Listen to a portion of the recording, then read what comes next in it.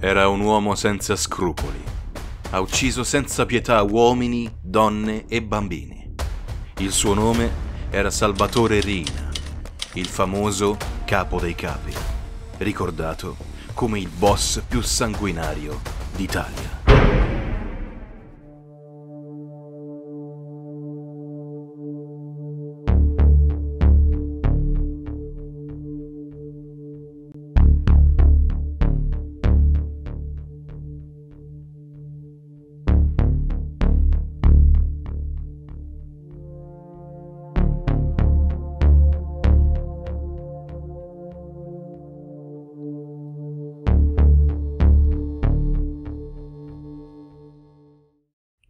15 gennaio 1993, via Bernini 54, Palermo. L'autista Salvatore Biondino sta uscendo dal cancello di una villa con una Citroën ZX. Insieme a lui c'è l'uomo più ricercato del momento, Totò Rina. I due però non sanno che il capitano De Caprio, insieme ad alcuni carabinieri, li stanno aspettando fuori dall'abitazione dopo ben 24 anni di latitanza, il capo assoluto di Cosa Nostra era in trappola. Finalmente è stato trovato il boss Salvatore Rina.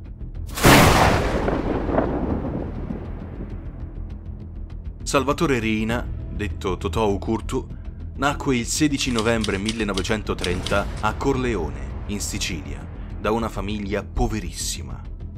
All'età di 13 anni, Salvatore subì due gravi lutti. Il padre Giovanni, insieme al fratellino Francesco di 7 anni, morirono a causa dell'esplosione di una vecchia bomba americana che avevano trovato in un campo e che volevano aprire per rivendere il metallo e la polvere da sparo. Questo episodio portò Totò a crescere ancora di più nella miseria e alimentò la sua indole violenta. Negli anni della gioventù insieme agli amici Bernardo Provenzano e Calogero Bagarella, si avvicinò alla figura di Luciano Liggio, uno dei malavitosi locali affiliati a Don Michele Navarra, il boss della zona. A soli 19 anni, Totò venne condannato a 12 anni di reclusione per l'omicidio di un suo coetaneo, Domenico Di Matteo venne scarcerato nel 1956 e da quel momento intraprese, insieme a Liggio, una sanguinosa lotta per impadronirsi del potere criminale corleonese. Fino al 1963 la città di Corleone divenne teatro di violenze e omicidi che vedono Don Navarra e i suoi uomini eliminati uno a uno. Nello stesso anno però Rina finì di nuovo dietro le sbarre. Durante un banale controllo stradale, la polizia gli trovò addosso un'arma non dichiarata e dei documenti d'identità falsi. Tornato libero nel 1969 per assenza di prove, Reina proseguì i suoi sporchi affari con le grandi famiglie palermitane di Cosa Nostra. Inoltre, il 10 dicembre 1969, insieme a Liggio e Provenzano, fu responsabile della strage di Viale Lazio, che portò alla morte di numerosi uomini, tra cui il boss Michele Cavataio. Rina iniziò la sua scalata al potere nel 1971. Aveva il pieno controllo sul contrabbando, traffici di droga e appalti edili. Farà uccidere il magistrato Pietro Scaglione, diventato secondo lui troppo invadente, e partecipò a diversi sequestri di persone, mirati non solo a estorcere denaro, ma anche ad indebolire le famiglie mafiose rivali. Nel 1974, quando Luciano Liggio venne arrestato a Milano, Totò Rina prese il suo posto all'interno della Commissione, l'organo decisionale composto dalle più importanti famiglie mafiose. Da quel momento il potere era nelle sue mani. Negli anni successivi a Palermo si scatenò una vera guerra di mafia, in cui il capo dei capi e i suoi scagnozzi riuscirono a fare piazza pulita dei vecchi boss il suo alleato più fidato era Bernardo Provenzano, con cui attuerà la maggior parte dei suoi piani. Chiunque osasse intralciare il suo cammino era destinato a morire. Questo destino non sarà riservato solo ai capi delle cosche o ai malavitosi, ma anche a giudici, politici e forze armate. Il 6 gennaio 1980 venne ucciso il presidente della regione Sicilia, Piersanti Mattarella, fratello dell'attuale Presidente della Repubblica, Sergio Mattarella. Il 30 aprile 1982 venne trucidato Pio La Torre, un segretario regionale che si era fortemente battuto contro Cosa Nostra. L'uomo presentò una legge che prevedeva per la prima volta nell'ordinamento italiano il reato di associazione di tipo mafioso. Era un affronto troppo grande per Rina, che lo ripagò con la morte. Cinque mesi dopo, il 3 settembre, fu la volta del generale Carlo Alberto Dalla Chiesa, inviato in Sicilia proprio per contrastare l'avanzata dei poteri mafiosi. La guerra di Reina però non veniva combattuta solo con le armi. I corleonesi riuscirono a farsi amici influenti all'interno dello stesso Stato italiano, con cui la mafia stringeva patti elettorali e post-elettorali, appalti, nomine, consulenze e molto altro. Oltre agli amici però, Rina aveva anche molti nemici. Tra questi c'era Tommaso Buscetta, ex boss mafioso. Dopo essere stato catturato in Brasile, dove scappò per fuggire alla ferocia di Rina, Buscetta, in una serie di interrogatori, spiegò organigrammi, regolamenti, nomi, collocazioni geografiche, moventi di omicidi, alleanze e progetti della mafia.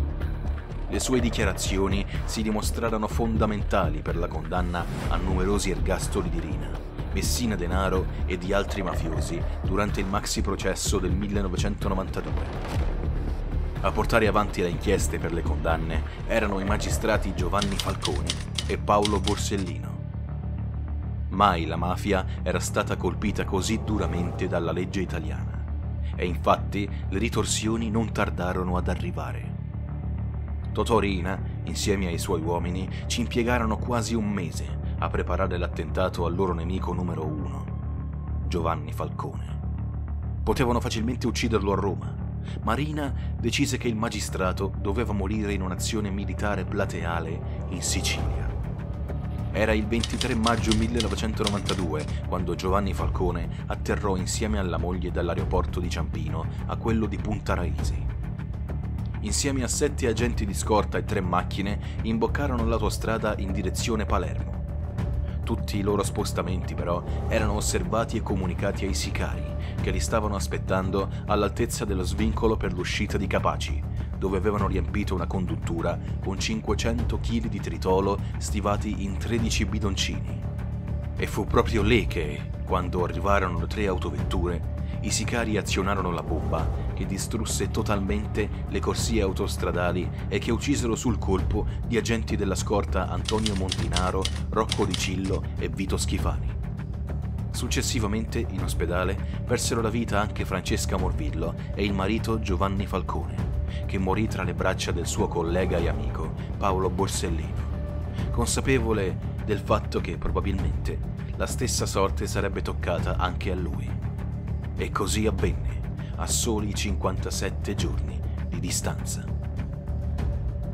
Era il 19 luglio 1992 quando Borsellino arrivò a Palermo, in via D'Amelio, per far visita alla madre.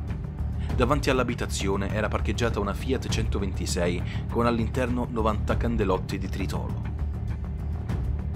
Nel momento in cui il magistrato schiacciò il citofono per chiamare la madre, l'autobomba esplose distruggendo tutto ciò che trovò nel raggio di 150 metri. I corpi di Paolo Borsellino e dei suoi cinque agenti della scorta, Walter Eddy Cosina, Emanuela Loi, Agostino Catalano, Vincenzo Limuli e Claudio Traina, vennero fatti a pezzi. La morte dei due giudici fu una ferita insanabile per tutta l'Italia e l'opinione pubblica. Bisognava fermare Cosa Nostra. Gli sforzi si quadruplicarono e una caccia all'uomo serrata strinse il cerchio attorno a Totorina, che il 15 gennaio 1993, dopo 24 anni di latitanza, venne arrestato dai Rosse dei Carabinieri davanti alla sua villa a Palermo.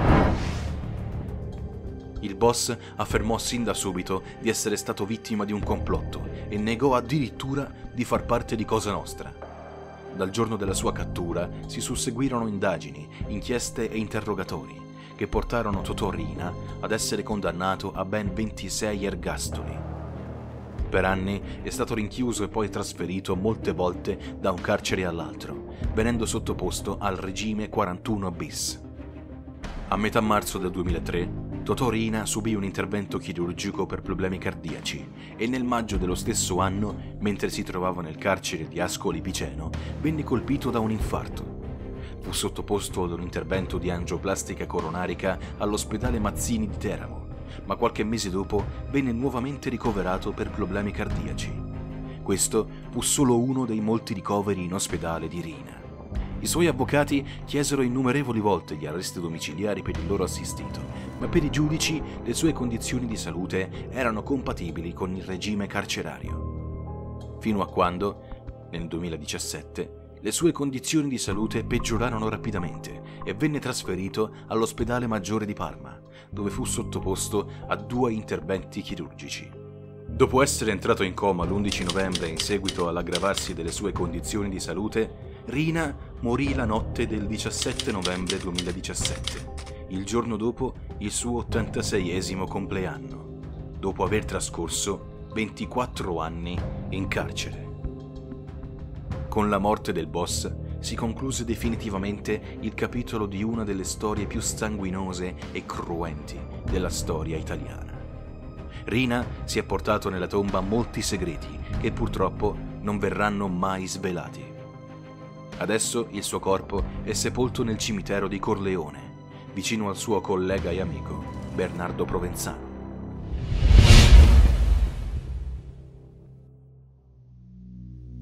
Metti like, iscriviti e attiva la campanellina per non perdere i prossimi video.